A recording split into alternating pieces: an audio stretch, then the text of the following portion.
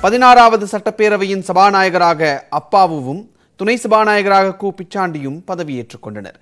பதினாறாவது சட்டப்பேரவையின் முதல் கூட்டத்தொடரின் இரண்டாவது நாள் கூட்டம் இன்று நடைபெற்றது. கூட்டம் தொடங்கியதும் சபாநாயகராக அப்பாவு ஒருமனதாக தேர்ந்தெடுக்கப்பட்டதாக தற்காலிக சபாநாயகர் கு. பிச்சாண்டி அறிவித்தார். இதனைத் தொடர்ந்து அவை முன்னவர் துரைமுருகன் எதிர்க்கட்சித் தலைவர் எடப்பாடி பழனிசாமி ஆகியோர் சபாநாயகர் அப்பாவுவை அதற்குரிய இருக்கைக்கு அழைத்துச் சென்று அமர வைத்தனர்.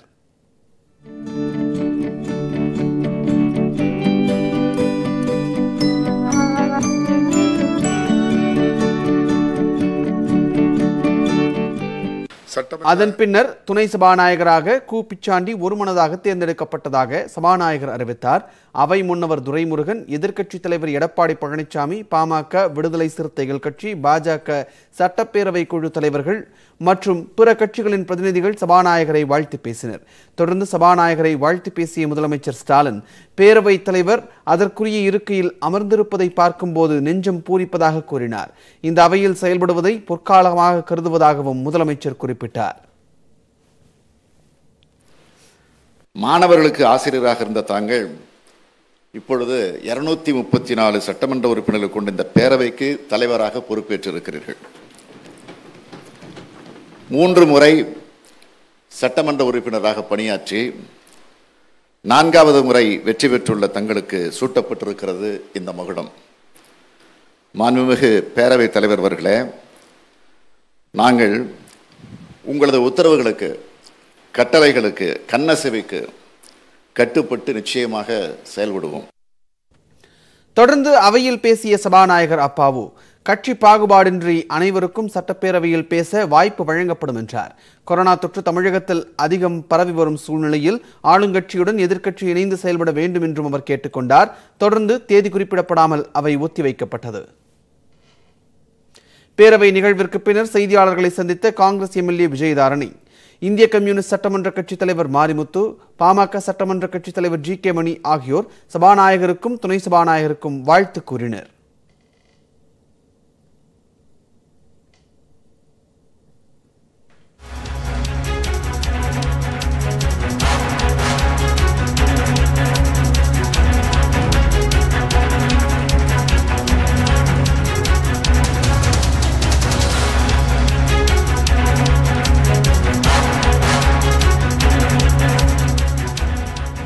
தற்போது வந்திருக்கக்கூடிய முக்கிய செய்தியை பார்த்துக் கொண்டிருக்கிறோம். மருத்துவமனைகளில் செயல்படக்கூடிய தடுப்பூசி மையங்களை அகற்ற வேண்டும் என்று சென்னை உயர்நீதிமன்றம் தமிழக அரசுக்கு ஒரு அறிவுறுத்தல் ஒன்றை வழங்கியிருக்கிறது. மருத்துவமனைகளில் செயல்படக்கூடிய தடுப்பூசி மையங்களை அகற்ற வேண்டும் என்று தெரிவிக்கப்பட்டிருக்கிறது. ஏற்கனவே மருத்துவமனைகளில் கொரோனாவால் பாதிக்கப்பட்டு சிகிச்சை பெறுபவர்களின் எண்ணிக்கை என்பது தொடர்ந்து அதிகரித்து வரக்கூடிய சூழ்நிலையில் கொரோனா தடுப்பூசியை செலுத்திக் கொள்வதற்காக மக்கள் மருத்துவமனைக்கு செல்லக்கூடிய நிலைமை இருக்கின்றது. இந்த நிலையில் மருத்துவமனையில் செயல்படும் தடுப்பூசி மையங்களை அகற்ற வேண்டும் என்ற ஒரு அறிவுறுத்தலை சென்னை உயர்நீதிமன்றம் தமிழக அரசிற்கு வழங்கி இருக்கிறது அது மட்டுமல்லாது மாற்றுத்திறனாளிகள் தடுப்பூசி செலுத்திக் கொள்வதற்கான வசதிகளையும் மேம்படுத்த வேண்டும். அதற்கான மாற்று வழிகளையும் செய்ய வேண்டும் என்றும் தமிழக அரசிற்கு சென்னை உயர்நீதிமன்றம் அறிவுறுத்தல் ஒன்றை வழங்கியிருக்கிறது. கொரோனா தொற்று என்பது கொரோனாவினுடைய இரண்டாவது அலை தொற்று என்பது தொடர்ந்து அதிகரித்து வரக்கூடிய சூழ்நிலையில் மருத்துவமனைகளில் கொரோனாவால் பாதிக்கப்பட்டு அங்கு அனுமதிக்கப்படுபவர்களின் எண்ணிக்கை என்பது தொடர்ந்து அதிகரித்துக் கொண்டே இருக்கிறது. இந்த நிலையில் கொரோனாவிலிருந்து தற்காத்துக் கொள்வதற்காக தடுப்பூசி செலுத்திக் கொள்ளக்கூடிய மக்கள் மருத்துவமனைகளுக்கு சென்று அங்கு தடுப்பூசி செலுத்திக் கொள்ள வேண்டிய சூழ்நிலை இருக்கின்றது. இந்த நிலையில் கொரோனா தடுப்பூசி செலுத்திக் கொள்ள அங்கு மக்கள் வருவதை தவிர்ப்பதற்காக பல்வேறு நடவடிக்கைகள் எடுக்க வேண்டும் என்ற அறிவுறுத்தல் வழங்கப்பட்டிருக்கிறது. இதில் மருத்துவமனைகளில் அந்த தடுப்பூசி செலுத்துவதற்கா செலுத்துவதற்கான அந்த மையங்களை அகற்ற வேண்டும் என்று சென்னை உயர்நீதிமன்றம் அறிவுறுத்தல் ஒன்றை வழங்கியிருக்கிறது. இது குறித்த கூடுதல் விவரங்களை வழங்குவதற்காக நமது செய்தியாளர் மதன் நம்முடன் இணைந்திருக்கிறார். மதன் சென்னை உயர்நீதிமன்றம் எதன் அடிப்படையில் இந்த அறிவுறுத்தல்களை வழங்கியிருக்கிறது? இந்த வழக்கை பார்க்கும்போது அதாவது தமிழகத்தில் இந்த மருந்து த- தட்டுப்பாடு தொடர்பாக கொரோனா மருந்து தட்டுப்பாடு தொடர்பாக தாமாக முன்வந்து சென்னை உயர்நீதிமன்ற தலைமை நீதிபதி அமர்வு விசாரித்து வருகிறது இந்த வழக்கானது கடந்த முறை விசாரணைக்கு வந்தபோது தமிழக அரசு தரப்பில் அதாவது தமிழகத்தில் தற்போது நானூத்தி எழுபத்தி ஐந்து மெட்ரோ மெட்ரிக் டன் ஆக்சிஜன் தேவை உள்ள நிலையில் தற்போது வரைக்கும் நானூத்தி பத்தொன்பது மெட்ரிக் டன் மட்டுமே வழங்கப்பட்டதாக தெரிவித்தது. அது மட்டும் இல்லாமல் இந்த மே மாத இறுதிக்குள்ளாக ஆக்சிஜன் தேவை தமிழகத்தில் எட்நூறு மெட்ரிக் டன்னாக உயரக்கூடும் தெரிவிக்கப்பட்டது. அதே போல புதுச்சேரி அரசை பொறுத்த வரைக்கும் அங்கு ஆக்சிஜன் படுக்கைகள் மருந்து வசதிகள் போதுமான இருப்பதாக தெரிவித்தார்கள். இந்த வழக்கு கடந்த முறை விசாரணை நீதிபதிகள் ராணுவ தளவாட ஆராய்ச்சி மையமான டிஆர்டிஓவின் ஆக்சிஜன் உற்பத்தி செய்யும் வசதியை தமிழகத்தில் ஏற்படுத்த வேண்டும் என்று வலியுறுத்தினார்கள். அது மட்டுமில்லாமல் உச்சநீதிமன்றம் ஏற்கனவே அமைத்துள்ள நிபுணர் குழு பரிந்துரை அளிக்கும் வரை தமிழகம் மற்றும் புதுச்சேரிக்கு ஆக்சிஜன் தடுப்பூசி மருந்து மற்றும் ரெம்டெசிவிர் மருந்துகள் சப்ளைக்கு உடனடியாக நடவடிக்கை எடுக்க வேண்டும் என்றும் மத்திய அரசு கடந்த முறை உத்தரவிட்டார்கள். இந்த வழக்கானது இன்று மீண்டும் விசாரணைக்கு வந்தபோது தமிழக அரசு தரப்பில் தமிழகத்தை பொறுத்தவரை கடந்த பத்தாம் தேதி முதல் கொரோனா தொற்றுவானது சற்று குறைந்ததாக தெரிவிக்கப்பட்டது. அதாவது ஆறாம் தேதி முதல் சுமார் ஒரு நாள் ஒன்றுக்கு ஆயிரத்தி ஆயிரத்தி ஐநூறு பேரை பாதிக்கப்பட்டிருந்தார்கள் தற்போது அது குறைந்ததாக தெரிவித்தார்கள். இதையடுத்து பொதுமக்கள் தற்போது இது போன்ற வேக்சின் செலுத்திக் கொள்வதற்கு மருத்துவமனைக்கு வருவதற்கு பயப்படுவதாக ஒரு விஷயம் நீதிபதி கவனித்துக் கொண்டு வரப்பட்டது. இதையடுத்து பொதுமக்கள் தற்போது இந்த வேக்சினை எடுத்துக் கொள்வதற்காக மருத்துவமனைக்கு வர பயப்படுவதால் மருத்துவமனைகளில் இருந்து தடுப்பூசி மையங்களை அகற்ற வேண்டும் என்று தமிழக அரசுக்கு அறிவுறுத்தினார்கள் நீதிபதிகள். அது மட்டுமில்லாமல் டிஆர்டிஓ மூலமாக ஆக்சிஜன் உற்பத்தி வசதியை ஏற்படுத்த மாநில அரசு உடனடியாக பி எம் கேருக்கு விண்ணப்பிக்க வேண்டும் என்றும் இன்று தமிழக அரசுக்கு நீதிபதி அறிவுறுத்தினார்கள். மேலும் தடுப்பூசியை தமிழகத்தில் கொள்முதல் செய்வதற்கான டெண்டர் கோடு தொடர்பாக தமிழக அரசு நாளை உரிய விளக்கம் அளிக்க வேண்டும் என்றும் தெரிவிக்கப்பட்டது. மத்திய அரசை பொறுத்தவரைக்கும் தமிழகத்திற்கு இதுவரைக்கும் வழங்கப்பட்டு வந்த நானூத்தி பத்தொன்பது மெட்ரிக் டன்னானது ஆக்சிஜன் தற்போது ஐநூத்தி பத்தொன்பது மெட்ரிக் டன் உயர்த்தியுள்ளதாகவும் இன்று மத்திய அரசு தரப்பில் தெரிவிக்கப்பட்டது. புதுவை அரசை பார்த்து பொறுத்தவரைக்கும் கடந்த முறை எந்த ஒரு கட்டுப்பாடும் இல்லை என்று புதுவை அரசு தெரிவித்தது. அது ஏற்க மறுத்த நீதிபதிகள் இன்று நேற்று மட்டும் புதுவையில் இரண்டாயிரம் பேர் கொரோனாவில் புதிதாக பாதிக்கப்பட்டுள்ளனர். எனவே புதுச்சேரியுடைய உண்மையான நிலை குறித்து நாளை அறிக்கை தாக்கல் செய்ய வேண்டும் என்றும் பொது புதுச்சேரி அரசுக்கு சென்னை உயர்நீதிமன்றம் உத்தரவு பிறப்பித்துள்ளது. மேலும் தடுப்பு தடுப்பு மருந்து போடுவதில் மாற்றுத்திறனாளிக்கு சிறப்பு வசதிகள் செய்து தர வேண்டும் என்று தமிழக அரசுக்கும் புதுச்சேரி அரசுக்கும் இன்று சென்னை உயர்நீதிமன்றம் உத்தரவிட்டுள்ளது. இதையடுத்து தற்போது தமிழகத்திலும் புதுச்சேரியிலும் ஓய்வு இல்லாமல் பணியாற்றி வரும் செவிலியருக்கு தாங்கள் நன்றி தெரிவித்துக் தெரிவித்த நீதிபதிகள் இந்த வழக்கு விசாரணையை மீண்டும் நாளை தள்ளிவிட்டார்கள்.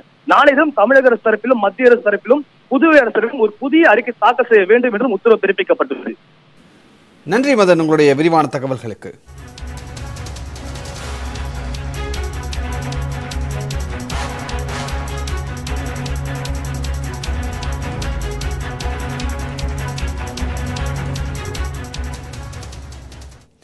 தமிழகத்தில் இருந்து பகல் பனிரெண்டு மணிக்கு மேல் யாரும் புதுச்சேரிக்குள் வர வேண்டாம் என்று காவலர்கள் எச்சரிக்கை விடுத்திருக்கின்றனர்.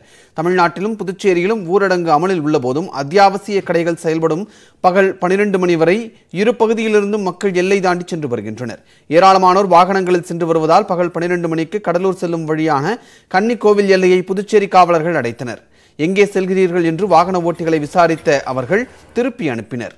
தேவையின்றி வாகனங்களில் வந்தவர்கள் மீது வழக்கு பதிவு செய்யப்பட்டுள்ளது. இதனால் ஆயிரக்கணக்கில் வாகனங்களில் வந்தவர்கள் வேறு வழியின்றி திரும்பிச் செல்லும் நிலை ஏற்பட்டுள்ளது. கன்னியாகுமரி மாவட்டம் தேங்காய்பட்டினம் துறைமுகத்தில் மீன் வாங்க ஏராளமானோர் கூடுவதால் கொரோனா பரவும் அபாயம் ஏற்பட்டுள்ளது. அதிகாலை முதலே நெல்லை உள்ளிட்ட பல மாவட்டங்களில் இருந்தும் கேரளாவிலிருந்தும் மீன் வாங்க கூட்டம் கூடியது. ஊரடங்கு அமலில் உள்ள நிலையிலும் முகக்கவசம் அணியாமல் தனிமனித இடைவெளியை கடைபிடிக்காமல் பலரும் மீன் வாங்கிச் சென்றனர். கூட்டத்தை கட்டுப்படுத்தவோ கட்டுப்பாடுகளை பின்பற்ற அறிவுறுத்தவோ மீன்வளத்துறை அதிகாரிகள் நடவடிக்கை எடுக்கவில்லை. கடந்த மூன்று நாட்களாக கூட்டம் அதிகமாக காணப்படுவதால் கொரோனா அச்சம் எழுந்துள்ளது. தனிமனித இடைவெளியின்றி ஏராளமானோர் தேநீர் அருந்தியதால் கோவில்பட்டியில் உள்ள தேநீர் கடைகள் அனைத்தும் அடைக்கப்பட்டன. பகல் பனிரெண்டு மணி வரை தேநீர் கடைகள் செயல்பட அனுமதி அளிக்கப்பட்டுள்ள நிலையில் கோவில்பட்டியில் டிஎஸ்பி கலை கதிரவன் தலைமையில் போலீசார் சாதாரண உடையில் கடைகளுக்கு சென்று ஆய்வு மேற்கொண்டனர்.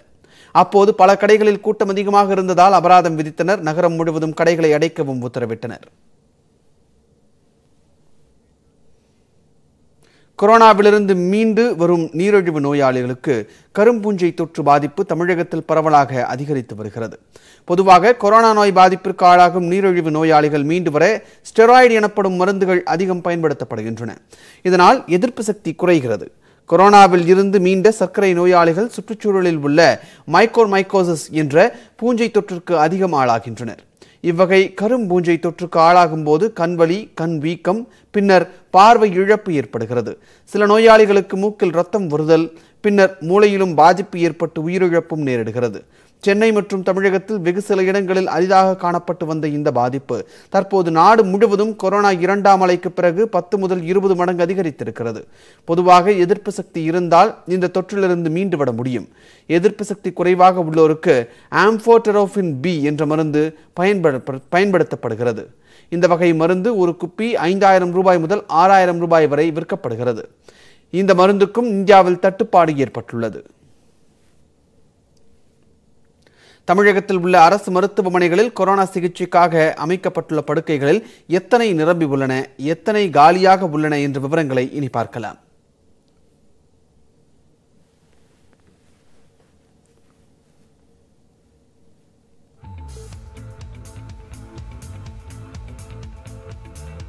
ராயப்பேட்டை அரசு மருத்துவமனையில் சாதாரண படுக்கைகள் காலியாக இருப்பவை நூற்று எண்பத்தி ஐந்து படுக்கைகள் காலியாக இருக்கின்றன.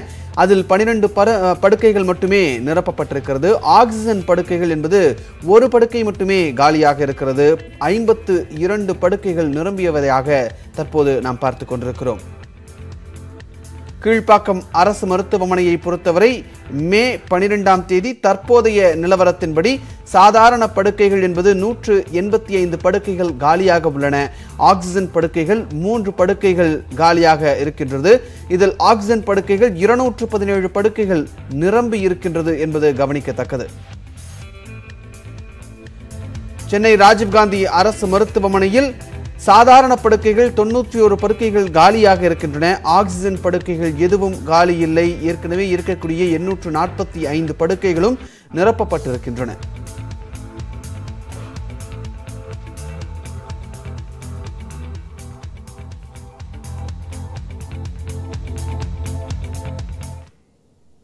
தொடர்ந்து விரைவு செய்திகள் சிலவற்றை பார்க்கலாம். சென்னையில் கொரோனா தடுப்பு பணிகளுக்காக முன்னூறு பயிற்சி மருத்துவர்களை ஒப்பந்த அடிப்படையில் நியமிக்க மாநகராட்சி நடவடிக்கை எடுத்துள்ளது. பயிற்சி மருத்துவர் பணியில் சேர விருப்பம் உள்ள இறுதி ஆண்டு மருத்துவ மாணவர்கள். வியாழக்கிழமை மதியம் இரண்டு மணிக்குள் GCC DELE doctor two thousand twenty one at Gmail dot com என்ற மின்னஞ்சல் முகவரியில் சுய விவரங்களுடன் விண்ணப்பிக்கலாம் என்று மாநகராட்சி அறிவுறுத்தியுள்ளது. விண்ணப்பிப்பவர்களிடமிருந்து தொலைபேசி மூலமாக வியாழக்கிழமை நேர்காணல் நடத்தப்படும் என்றும் தேர்வு செய்யப்படும் மருத்துவர்கள் பதினான்காம் தேதி முதல் மூன்று மாத காலத்திற்கு பணியாற்ற வேண்டும் என்றும் மாநகராட்சி அறிவித்துள்ளது. பயிற்சி மருத்துவர்களுக்கு மாத ஊதியமாக நாற்பதாயிரம் ரூபாய் வழங்கப்படும் என்றும் அறிவிக்கப்பட்டுள்ளது. டெல்லியின் கிழக்கு பகுதியில் உள்ள சில்லா கிராமத்தில் கொரோனா அச்சுறுத்தலுக்கு மத்தியில் பொதுமக்கள் குடிநீர் கிடைக்காமல் தவித்து வருகின்றனர். தண்ணீர் லாரிகள் போதுமான அளவு வராததன் காரணமாக காலி கூடங்கள் கேன்களுடன் அவர்கள் காத்திருக்கின்றனர். ஒரு லாரி வந்தால் கூட தனி மனித இடைவெளியின்றி முண்டியடித்து தண்ணீர் பிடித்துச் செல்லும் நிலையே உள்ளது. பதினெட்டு மாநிலங்களுக்கு தடுப்பூசியை அனுப்பி வைத்துள்ள நிலையில் தங்களது செயல்பாடுகளை சில மாநிலங்கள் விமர்சிப்பது ஏமாற்றம் அளிப்பதாக பாரத் பயோடெக் நிறுவனத்தின் இணை நிறுவனர் சுஜித்ரா எல்லா தெரிவித்துள்ளார். கோவாக்சின் தடுப்பூசியை உற்பத்தி செய்து மாநிலங்களுக்கு அனுப்பி வைக்கும் பணியில் பாரத் பயோடெக் நிறுவனம் ஈடுபட்டுள்ளது. இந்நிலையில் ட்விட்டரில் பதிவிட்டுள்ள சுசித்ரா எல்லா தமிழகம் உள்ளிட்ட பதினெட்டு மாநிலங்களுக்கு கோவாக்சின் தடுப்பூசியை சிறிய அளவில் கடந்த பத்தாம் தேதி அனுப்பி வைத்ததாக தெரிவித்துள்ளார். ஆனால் தங்களது நோக்கம் குறித்து சில மாநிலங்கள் சந்தேகம் எழுப்புவது தங்களது குழுவுக்கு ஏமாற்றம் அளிப்பதாக அவர் வேதனை தெரிவித்துள்ளார். கொரோனா தொற்று காரணமாக ஐம்பது பணியாளர்கள் பணிக்கு வராத நிலையில் ஊரடங்கு காலத்திலும் இருபத்தி நான்கு மணி நேரமும் பணியாற்றி வருவதாகவும் சுசித்ரா எல்லா விளக்கமளித்துள்ளார். சென்னை பெரியார் நகர் அரசு மருத்துவமனையில் கொரோனா சிகிச்சை பிரிவை இந்து சமய மற்றும் அறநிலையத்துறை அமைச்சர் சேகர் பாபு மக்கள் நல்வாழ்வுத்துறை செயலாளர் ராதாகிருஷ்ணன் திமுக நாடாளுமன்ற உறுப்பினர் கலாநிதி வீராசாமி ஆகியோர் ஆய்வு செய்தனர். பின்னர் செய்தியாளர்களை சந்தித்த அமைச்சர் சேகர் பாபு பெரியார் நகர் அரசு மருத்துவமனையில் ஆக்ஸிஜன் படுக்கை மற்றும் செவிலியர்களின் எண்ணிக்கை உயர்த்தப்படவிருப்பதாக தெரிவித்தார். வார்டு ஒன்றுக்கு இரண்டு காய்ச்சல் முகாம் நடத்தப்படும் சூழலில் அது நான்காக உயர்த்தப்பட உள்ளதாகவும் அமைச்சர் கூறினார். அமைச்சரை தொடர்ந்து பேசிய மக்கள் நல்வாழ்வுத்துறை செயலாளர் ராதாகிருஷ்ணன் தொற்று பரவும் சங்கிலி ஊரடங்கால் தடைபட்டுள்ளது என்றார். சில நாட்களில் லாக்டவுன் போட்ட காரணத்தினால் அந்த ஏற்றங்களில் ஒரு பிரேக் வந்திருக்கு. இதை மிக முக்கியமான அரிய வாய்ப்பு பொதுமக்கள்கிட்ட.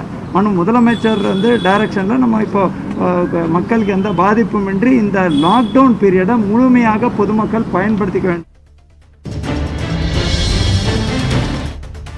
கன்னியாகுமரி மாவட்டம் மேல்புறம் பகுதியில் ஏடிஎம் மையத்தில் கொள்ளையடிக்க முயன்ற நபரை போலீசார் தேடி வருகின்றனர். கன்னியாகுமரி மாவட்டத்தில் நேற்று இரவு விடிய விடிய மழை பெய்த நிலையில் செம்மன்காலை பகுதியில் உள்ள தனியார் ஏடிஎம் மையத்தில் கொள்ளை முயற்சி நடந்துள்ளது.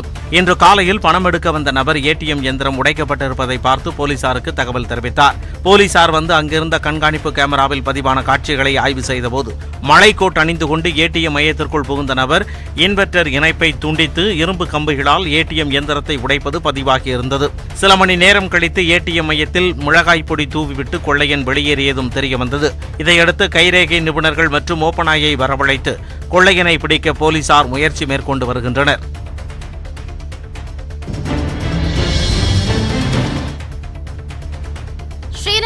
ரங்கநாதர் கோவிலில் ஜீயர் நியமனம் தொடர்பாக வெளியிட்ட அறிவிப்பு திரும்பப் பெறப்பட்டுள்ளது. ஸ்ரீரங்கம் ரங்கநாதர் கோவிலில் ஐம்பத்தோராவது ஜீயரை நியமனம் செய்வதற்காக தகுதியானவர்கள் விண்ணப்பிக்குமாறு கோவில் இணையதளத்தில் சமீபத்தில் அறிவிப்பு வெளியிடப்பட்டது.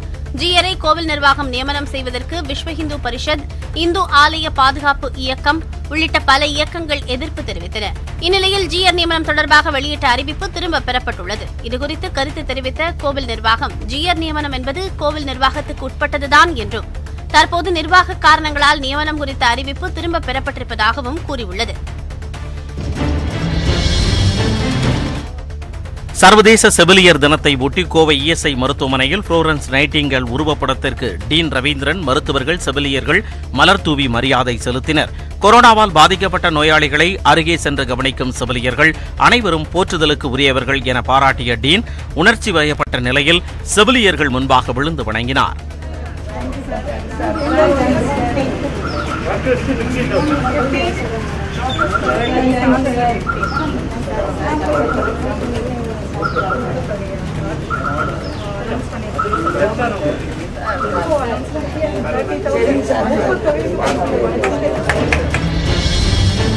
உத்தரப்பிரதேசத்தின் காசியாபாத்தில் தொழிற்சாலைகள் அமைந்துள்ள கவி நகரில் அட்டைப்பட்டு தயாரிப்பு ஆலையில் தீப்பிடித்தது கொழுந்துவிட்டு எரிந்த தீ பக்கத்து ஆலைகளுக்கும் பரவிய நிலையில் பத்து தீயணைப்பு வாகனங்களில் வந்த வீரர்கள் தீயை அணைக்க போராடி வருகின்றனர்.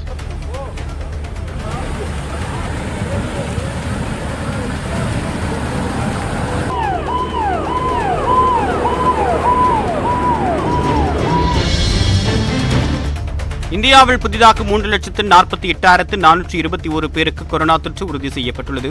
ஒட்டுமொத்தமாக பாதிக்கப்பட்டோரின் எண்ணிக்கை இரண்டு கோடியே முப்பத்தி மூன்று லட்சத்து நாற்பதாயிரத்து தொள்ளாயிரத்து முப்பத்தி எட்டாக உயர்ந்துள்ளது.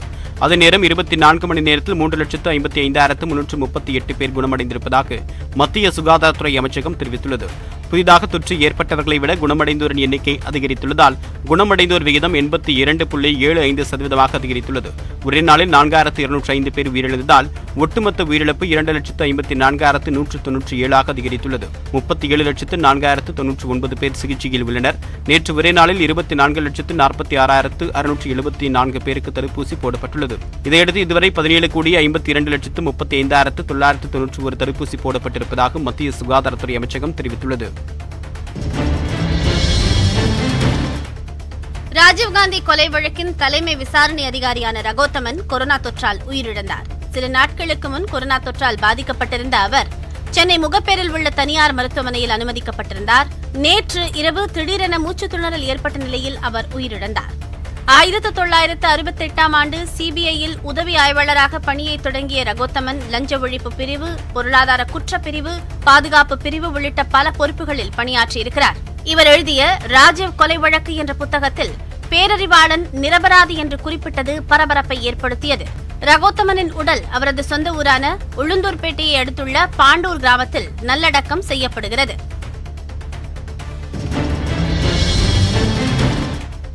தூத்துக்குடியிலிருந்து இலங்கைக்கு கடத்தவிருந்த இருபது லட்சம் ரூபாய் மதிப்பிலான வெள்ளி கொலுசுகளை போலீசார் பறிமுதல் செய்தார்கள். ரகசிய தகவலின் பேரில் தூத்துக்குடி இனிகோ நகரைச் சேர்ந்த பட்டுராஜன் என்ற மீனவரை போலீசார் பிடித்து விசாரித்தனர்.